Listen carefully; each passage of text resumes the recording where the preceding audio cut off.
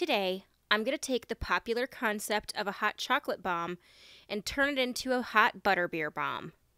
The things we'll need to create our hot butterbeer bombs are some half dome silicone molds. That way it'll create a full sphere. We are going to use some salted caramel candy melts, but you could also use white chocolate. You will need some French vanilla as well as butterscotch pudding mix, one and a half cups of confectioner's sugar, a quarter cup of brown sugar, a whisk for mixing, and a bowl for mixing. And then optionally, you can use some butter sprinkles or butter flavoring. To embellish, we will use a piping bag, uh, gold luster dust, and a brush. Then you will need a microwavable plate as well as the mugs to serve your butterbeer bombs in. Let's get started. The first thing we're going to do is take our salted caramel candy melts and we are going to put them into a glass Pyrex container and we are going to melt them. And that'll make it easier for us to be able to pour it into the mold so that we can create our empty spheres.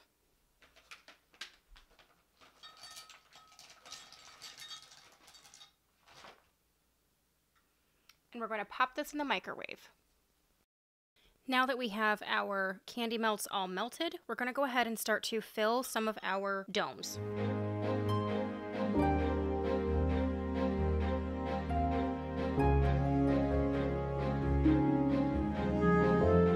Once you have filled some of the candy melt in there or the melted chocolate, we just want to use the back of a spoon to help coat the whole inside of the mold.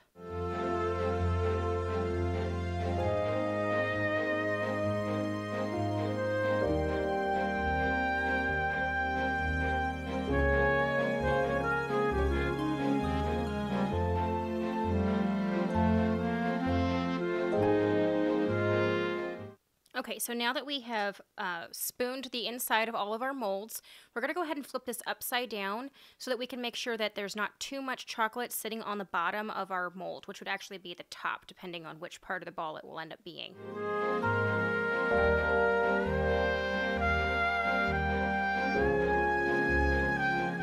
And we're going to do the same thing to the other one. And now that we have coated our spheres, we're going to put them in the freezer. While our chocolate is in the freezer, we're going to go ahead and make our actual butterbeer mix. So you could definitely make this mix and just put it in a jar and spoon it out to just make instant butterbeer whenever you want. So don't feel like you have to put this in a bomb, but with all of the hot cocoa bombs that are all over TikTok and Instagram and everywhere else, I just thought it would be kind of fun to create a Harry Potter themed bomb out of a butterbeer. And, you know, what's more iconic for Harry Potter than the butterbeer flavor? So that's what we're going to do today. So all we're going to do is dump all of our ingredients in here. And these are the 3.5 ounce boxes of pudding. The pudding will help thicken up your butterbeer a little bit, but it'll also give it a really great sweet, creamy texture.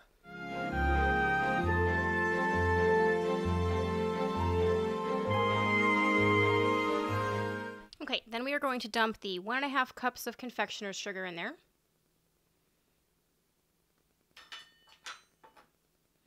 The quarter cup of brown sugar.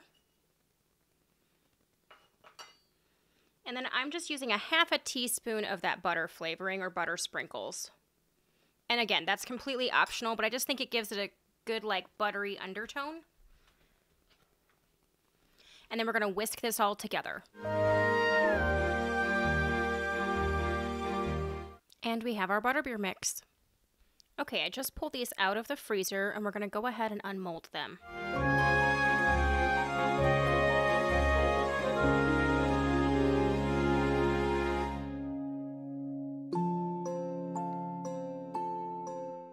Okay, so now that they are all unmolded, we're going to take half of these and fill them with some of our butterbeer mixture. And I find that two tablespoons seems to be a good amount. Could definitely add some marshmallows to this if you want.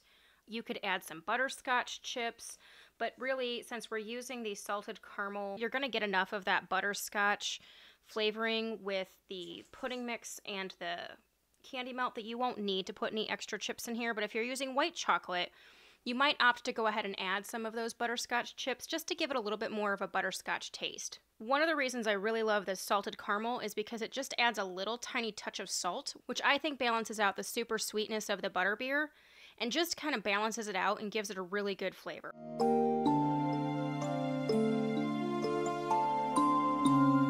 Okay, so now that half of our spheres are filled, I'm gonna go ahead and microwave a plate for just about 30 seconds to a minute. So it will actually melt the edge of our tops so that we can attach it to the bottom. So now all we're gonna do is take our top and put it on the plate so that it starts to melt that edge. And once it melts, then we just place it on top of the bottom. And that way they adhere together. And I'm going to do that for the rest of our bombs. And now that we have our little bombs, you could stop right here and this could be all you do to them. And it would work really well in your mug with a bunch of hot milk over it and it would just burst into a beautiful butterbeer. But we're going to take this one step further. One way that we are going to embellish some of these, and this is completely optional, is we are going to take some white chocolate that I melted in a piping bag, and we are going to create a couple wings to create a golden snitch butterbeer bomb. So to do that, I'm just going to snip the very end of my piping bag. And I'm going to draw out the wing.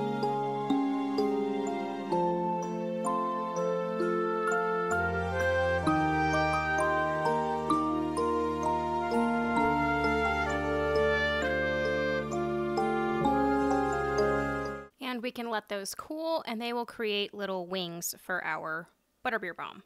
So while our wings are hardening, I'm going to show you a couple other things we can do to decorate these.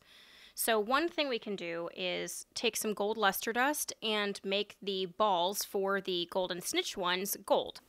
So we're just going to take some of the gold luster dust and we are going to rub it onto our chocolates. And it's going to give that really great sparkly gold glitter. Anytime you're going to hold your bombs, try to do it minimally because you don't want to melt any of the chocolate because our shells are pretty thin that way that they will burst open with the hot milk in the mug.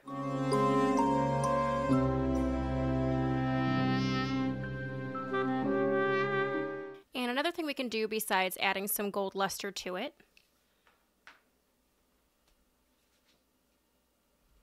would be to just create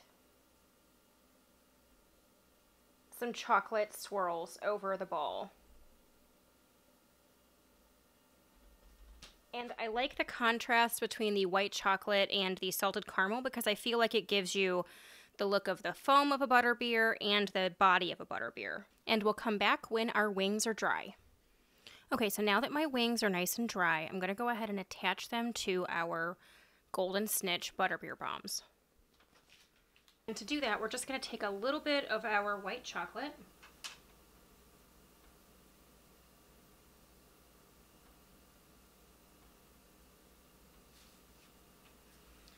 And we're just going to put a little bit on there, almost like hot glue.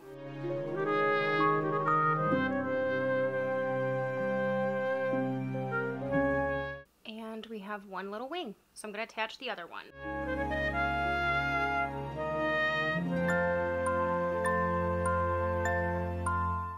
And now we have our little golden snitch butterbeer hot chocolate bombs. And there you have it, our hot butterbeer bombs. Perfect for a cold winter's day. These are a great way to bring the wizarding world a little bit closer, especially in the holiday season. These would be a really great gift. You could just wrap these in some cellophane and give them to your friends or family. This would be a fun thing to do for a Harry Potter movie night or something yummy to sip after a long day of shopping. A fun thing you could add for some adults in your life would be some baby bottles of either butterscotch liqueur or butterscotch schnapps to kind of take the butterbeer to a whole nother level.